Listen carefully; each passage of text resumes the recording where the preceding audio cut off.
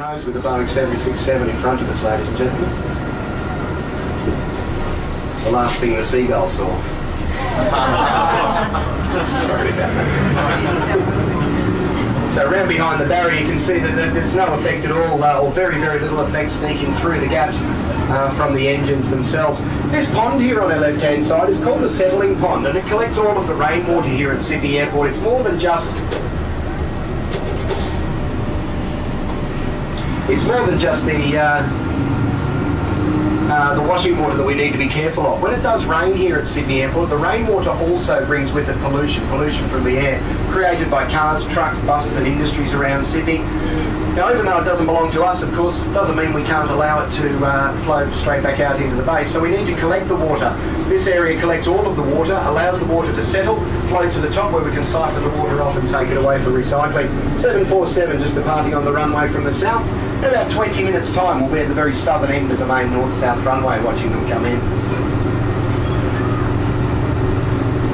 These are the biggest engines used in commercial operation anywhere around the world on this type of aircraft. Have a look at the difference between the engine size on this one and the engine size on the 747. These engines can produce more than 40 tonnes of thrust. In fact, one 777 engine at full power will suck more air into its intake in one minute than you'll suck into your lungs in your lifetime. So pretty powerful piece of machinery. And these engines, these aircraft can fly indefinitely on the power of one engine should that be necessary. And here's the flagship of the Qantas fleet, Wunala Dreaming, here on the right-hand side, painted up in the colours of Australia's Outback, used for most of the high-profile flights, and of course all of the special charters. As we mentioned before, this is one of the aircraft used to bring the uh, Olympians back from Athens in 2004.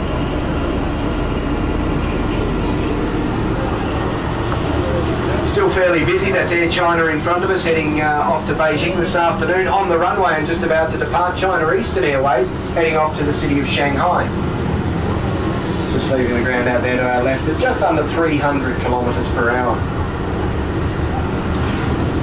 A lot movement going on. The other Airbus out in front of us is the twin jet version of the uh, Airbus, the A330, and that one flies for Garuda, Indonesia, heading out to the southern end of the runway where we'll be heading out shortly. We'll go for a bit more of a drive through the more cosmopolitan parts of the airport now.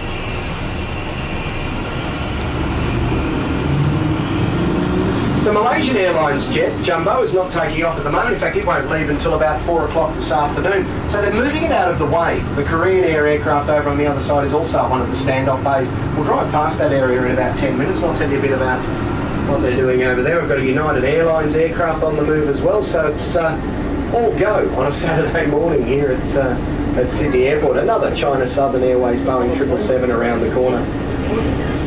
We'll go for a bit of a drive down here. Another airline beyond the China Southern uh, aircraft is uh, also known as China Airlines. Uh, however, they're a Taiwan-based air uh, company that fly in and out of uh, Taiwan from uh, from Sydney Airport. It's right down at the very end of the the base here on the right.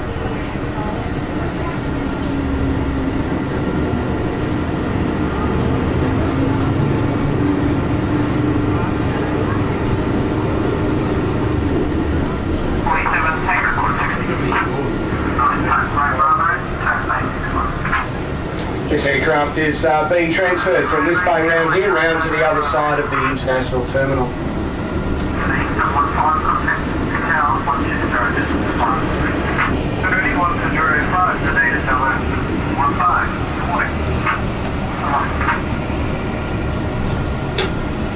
If you're ever up in the international terminal, we'll give you some uh, idea of exactly where we are, ladies and gentlemen. The windows you can see up there are the windows that look out from the food court on the departures level of the international terminal. So that might give you a bit of an idea of where we are on the uh, on the apron at the moment if you've ever been up there before. Also, as per the boss's instructions, I'll drive past slow enough to give people enough time to write the phone number down on the side of the bus. In front of us, an A340 Airbus, which is heading off to Vancouver, west coast of Canada. It's heading via Hawaii. Uh, can't fly. Uh, doesn't have the range to fly all the way across non-stop. So uh, it does stop for refueling in Hawaii along the way. So that's the uh, the A340 Airbus from Air Canada.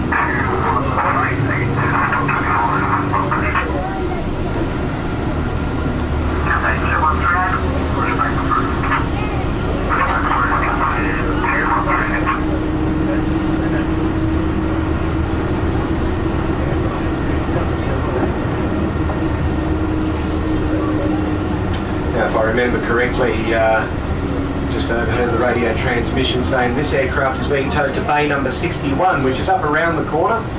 So we'll go for a bit of a drive alongside this uh,